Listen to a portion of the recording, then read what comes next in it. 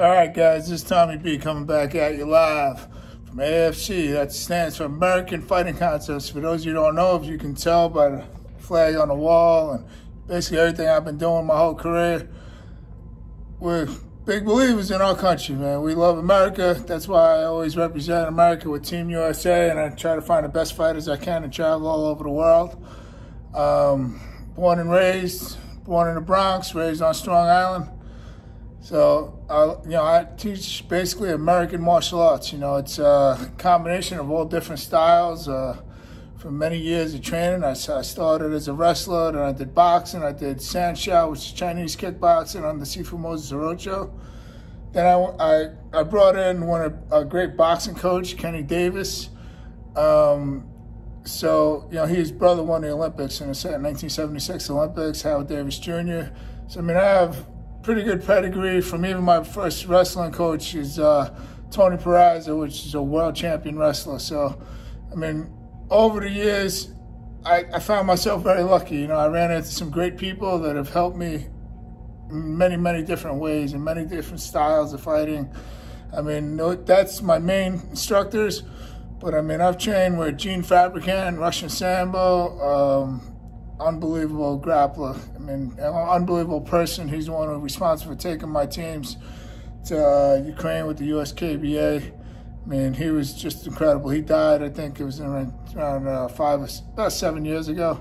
Um, but he was one of the best grapplers I've ever seen. Um, besides that, I mean, I, I, just have so many friends I've gotten to work with over the years, like Donna Dragon Wilson, and you know, just I could just go on and on.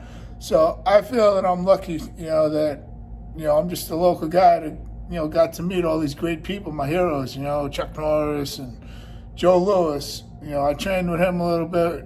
One night, the first night I met him, it was on a Walker Texas Ranger show. We that night we we went to the hotel and we we trained for like a couple of hours and just talked about fights and how they used to do it. He was the original heavyweight kickboxing champion how they used to do it and how they did it, you know, on the way up and how I was throwing my right hand. And I mean, he basically wrote an article in Black Belt Magazine a month later about our conversation and our training, talking about, you know, how today's kickboxers train compared to when he was when he was fighting. So that was like a big compliment to me because, you know, basically those guys like our heroes, you know I mean? Joe Lewis, uh, Bill Superfoot Wallace, another great guy I've gotten to hang out with plenty of times. Um, Joe Lewis, the first heavyweight champion, the first light heavyweight champion. Um, Jeff Smith from, from Washington, D.C. Got, I never got to train with him, but we have a lot of conversations, and you know, the man was is a living legend, you know. And I got I I, I cherish the moments I get to talk to these people and learn from them. Joe Corley the original PK. Uh, he's he's the president of the PKA, still going. Um, he was he fought against Bill Wallace in his first world title defense. I mean, these guys are great legends, and I feel lucky to be able to associate with them. You know, um, every time they talk, I'm like you know like the little kid trying to learn something. You know, um, so believe me, there's always more to learn. You know, so don't don't like close yourself into like one thing, you know, oh, I only do this style or I only do that style. Fighting has been punching, kicking, and wrestling since the beginning of time, you know. You call it what you want. You want to call wrestling wrestling or judo or jiu-jitsu or uh, whatever, you know, it's that it is what it is. It's, it's a form of wrestling, you know. Um, karate, kung fu, taekwondo, they're all basically different styles of striking. Boxing, boxing is martial arts too. You know, it's it's the hardest form of striking to me. You know, like if you're just in there one on one punching. I've done it with some great guys. You know, it's it's not easy. You know, uh, to me the the more rules, the harder to fight. You know, I fought on all kinds of rules. I train people on every kind of rules. It, and people think, oh, MMA is the hardest thing because you're on the floor it's brutal when you get getting elbowed in the face, but overall, like if you're, you know, you're a good grappler, you can stop that. If uh, boxing is not stopped, you know, you can't. It, it's either, I tell people all the time, if you're not punching, I'm punching. so you you got to get off first. You got to be the one punching. You know, it's the same thing in all fights. But you know, the more things that you put into the fight, the more options you have, you know. So it doesn't mean one style of fighting is better than another. They're all good, you know. They're all hard. There is no easy fight, you know. Um, train real hard and get real good at what you do, and hopefully you'll have a decent career. You know, there's uh, it's the will to want to be the best that's going to make you the best. It's not the technique. It's not the style. You know, uh, whatever style you, you you originate at you train hard, you become the best you can be in that style, and then maybe move on to something else if you want to do MMA. If you want to stay with one thing, then train your butt off and be the best at it you can be. And if that's it, then teach. If you want to move on to other things, there's plenty of other things to move on to. To me, I'm always learning. I love all martial arts, and I try to listen to everybody and, and learn from everybody. I've had people in this school. I've had Oleg Taktarov, one of the best great uh, grapplers there's ever been.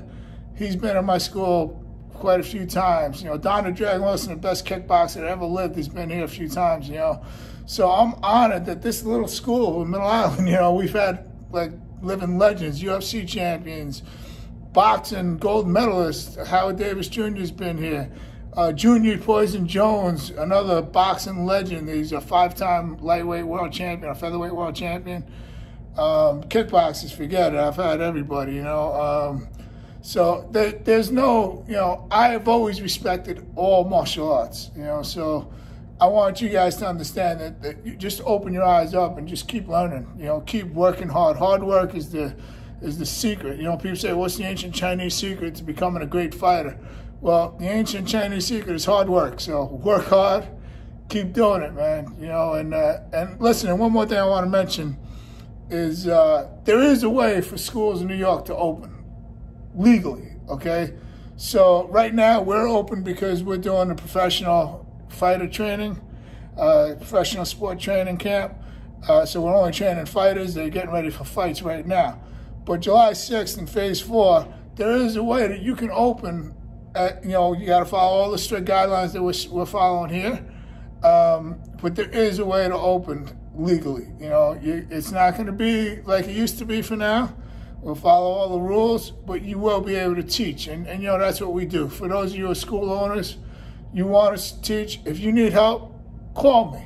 You know, text me, look on my Facebook, look on Instagram. You, I'm very easy to find. I'll give you my cell phone number right now. It's 516 885 9239. It's 516 885 9239. You can text me and I can send you all the information that can help you to be approved so you can do it legally and right.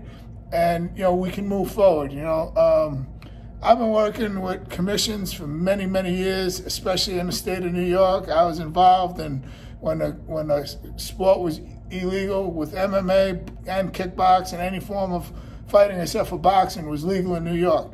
And i was involved all the way from the start to the finish we got the WK. I was the one who got them approved in New York. Whether they want to admit it or not, that's what happened. We were the first show that was approved in New York in Patchogue, and I fought on it. I had a four-man pro tournament. Um, so I've been involved forever. When the UFC was trying to get in, I worked with them because it helped us. We were still we were illegal in New York. We we were legalized only to work at the WK, but we had some issues with them. We weren't happy with some of the things they were doing. So I wasn't even doing shows in New York at the time. So what did I do? I, I the UFC contacted me because they saw all the stuff that I was involved with with fighting the state um, and getting the WK approved. They they contacted me and I worked with their lawyers on what we can do to make the next step forward instead of just suing and just you know fighting and arguing about you know they're all you know the politicians how they're all bad forget all of that because that's not going to get you anywhere. We need to always find a solution. That's what business is all about. We need to find a solution and move forward. And this is the solution for now. It might not be perfect, but it is a solution. So if you need any help, I don't care who you are, I don't care what style you you you you teach or you train in. If you have a school and you need help, contact me and I will help you. Okay, uh, we're all we're all in this together. Us.